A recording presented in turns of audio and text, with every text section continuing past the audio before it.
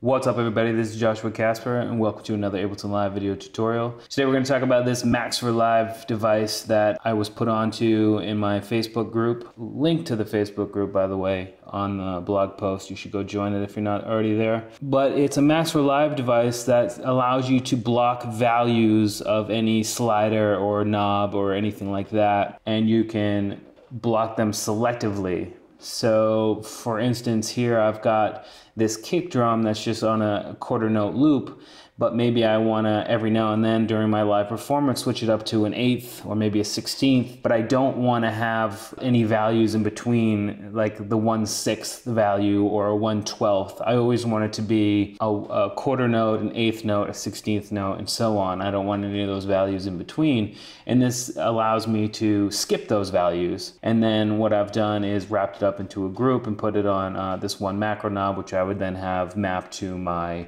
uh, control and that would just allow me to, you know, switch up my drum pattern every now and then. Obviously, this is a simplified idea, but I just wanted to share with you this device because I, I think I'm going to use it a lot, and I figured you might too. So I'm just going to go ahead and play this little loop I've got, and then just pay attention to this knob over here, and I'm going to be switching up the drum pattern to the, in time with the beat and skipping over those uh, fractions in between the quarter note and the eighth note, for instance. So.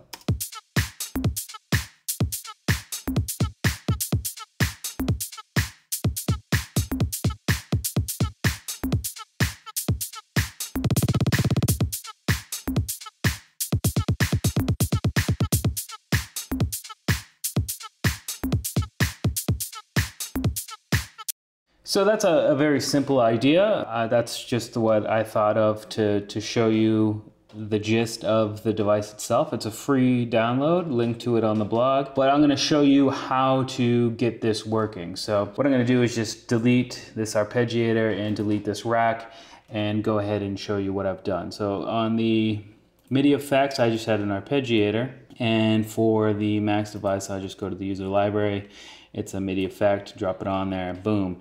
So the first thing you're gonna do is decide which parameter you want to skip values. So I'm just gonna hit map and I'm gonna map the rate knob here. So I'm gonna click map and click rate. And as you can see, it's now grayed out and I can't do anything with it. And if you look at the uh, dialog box down here, it says it's mapped and so it's disabled. So the next thing I'm gonna do is now this controller, which goes from 0 to 127 moves the knob. If I move it down, you can see the knob moving over here. So that's why, how I can change it. Now for this particular channel, which is just my kick, I don't want it to ever be like that. That's just silly for me in this particular instance. So uh, the zero value I want to block. So then I just click the block button over here and you can see that it's added the value down here. Now, I can move this slider up until I get another value and it's 196 and just hit block and move it up and it's 164th to hit block. Now as you can see the values are 0, 1, 2 even though the value up here is 23 really there's only three values the the 64th the 128th and whatever it was after that. So I can click in here and just add them manually if I wanted to. So I could go one, two, 0, 1, 2, and it's going to do the same thing. So I don't actually have to go through the time consuming process of doing this. I can just write them in down here. So there you go, I've got that done. I do want a 30 second, but I don't want a 124, so I'm gonna hit block. I don't want a 12th, so I'm gonna hit block.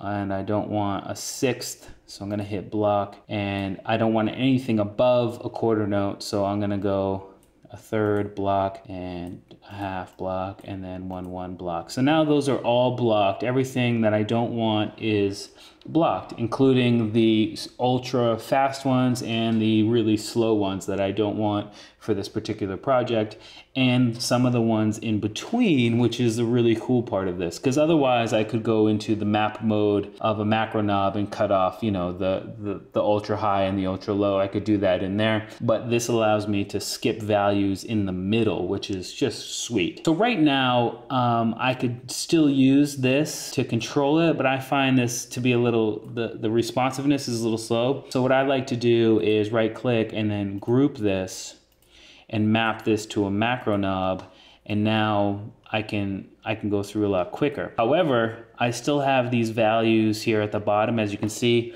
over here, nothing's moving between, let's see, between like 58 or between 45 and 0, nothing's happening to the value of the parameter over here. So I can still go into map mode and bring this up to, I don't know, whatever it was, 30.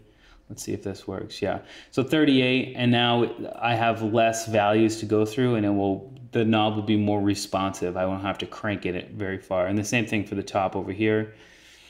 And bring it down to, let's see, when it goes over about 100. Click map again, set that max value to 100, and then come out.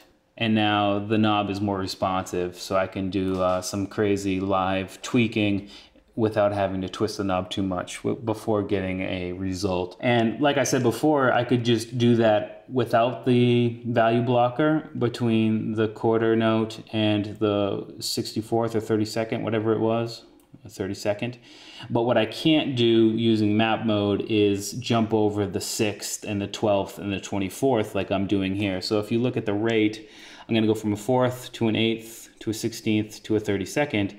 And skip over those other values in between, which is just super cool. And it's really lightweight and it's really easy to use. I just figured I'd share it with you guys and you can go ahead and play around with it. Links on the blog. You know what to do. See you next time. Peace.